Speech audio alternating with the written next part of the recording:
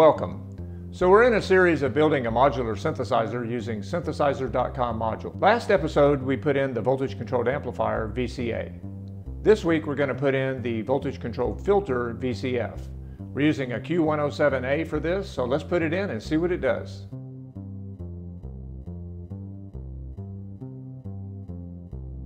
Okay, we have our filter installed. This is pretty simple to hook up. We have uh, one input coming from our oscillator. We have one output going to our VCA, which goes off to our mixer. And if I play a key, we get pretty much the identical waveform. This is the output of the filter on the bottom row, and it's the output of the oscillator on the top row. And that gating is just the VCA, turning it off. But the filter's not having any effect on it right now, because it's completely open. If I come up here and turn down the uh, cutoff frequency, you hear the tone change, and you can visibly see that it's taking off the rough edges of that waveform. And what it's actually doing is it's removing some of the harmonics. You have a fundamental tone, you have a series of harmonics that go up and they diminish in size as they go up higher and higher and higher. We hear them, but as you sweep down and take them out, we totally alter the sound. We could call it bright and dark. So bright sound, dark sound.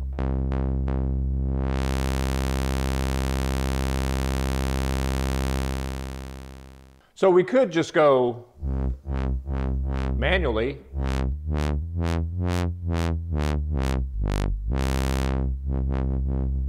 It's fun, it's not practical.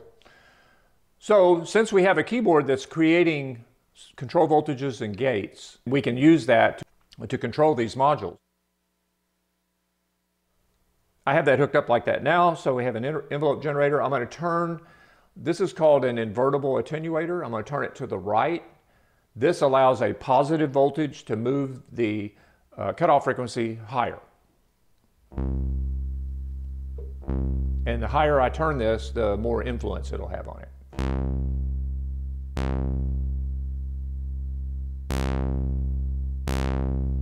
So now, this is being automated by the control voltage for me from the keyboard. Now, I said this was invertible. You can turn it the other way.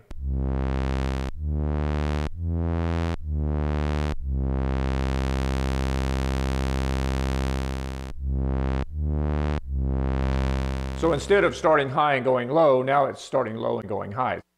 The next thing about the filter, besides the cutoff frequency, which is just the tone, is we have something called resonance. Resonance is where the filter takes the frequencies that are coming in that are at or near the cutoff frequency and amplifying them or exaggerating them. And I'm going to turn this up and you can hear what it does and you can see it on the scope.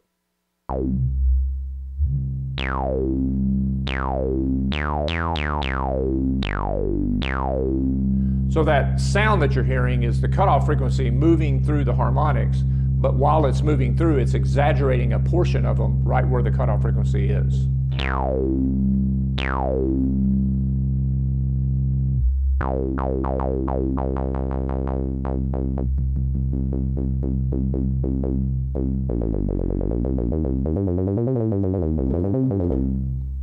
And it really beefs up the sound.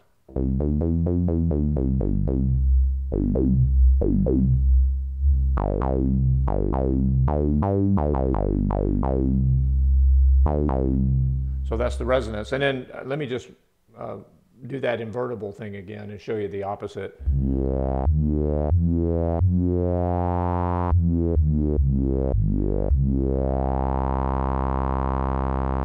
Resonance is one of those things you can kind of overdo it, but it's fun. It's fun to do.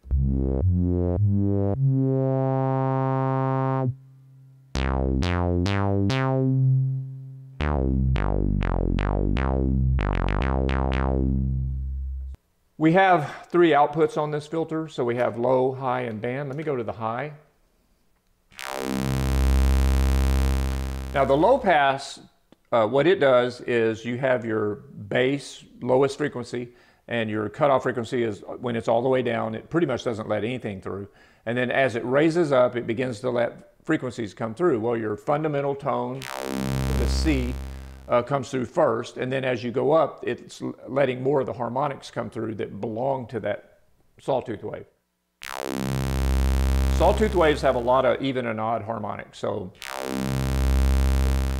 High pass, however, is the opposite. It starts high, and as the cutoff frequency is moving, it's letting lower frequencies or lower harmonics and the, eventually the fundamental come through. So it's going to sound like it's coming from high going low, but notice we still hear the high.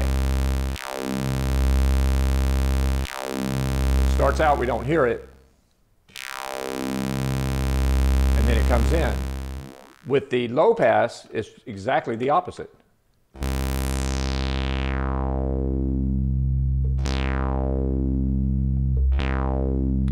Starts high, goes low, but we still hear the low, we no longer hear the highs. So that's kind of the difference between those. And then we, uh, the third one is we have a bandpass filter. So remember low pass is doing this, high pass is doing that. Bandpass is doing this. It's just got a band that's right at or around the cutoff frequency and it sweeps through.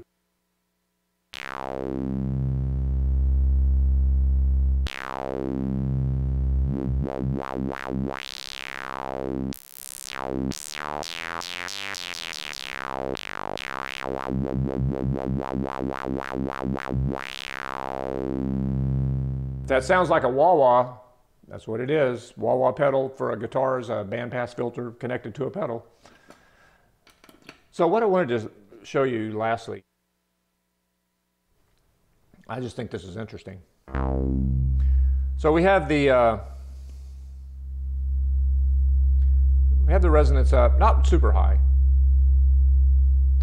But you'll notice the bottom wave looks like a sine wave. It's, this wave is being, it's really taking this uh, sawtooth wave and modifying it, but it's modifying it to look like a sine wave. Now, as I turn the cutoff frequency up, now it looks like I doubled the frequency. But in fact, that's the first harmonic. It's, it's raising up above the fundamental and now it's starting to get into the harmonic structure of this note and letting the first harmonic come through. Second harmonic, third harmonic.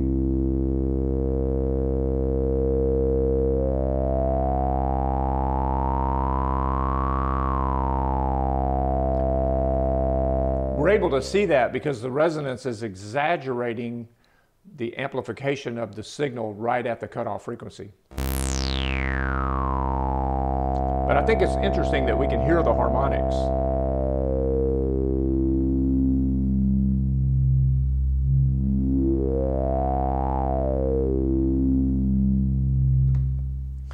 You know, with a modular synthesizer, you, you have your oscillator, filter, amplifier, and who knows whatever else typically when you're interacting with it hands-on, this is your this is my go-to knob. The filter, it's got a big knob. It, it, you get immediate,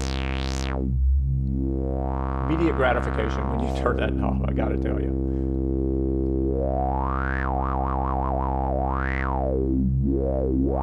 And certainly you can automate it. But you could have something running automated and then over time just tweak it a little bit and just totally change the effect. So, filter.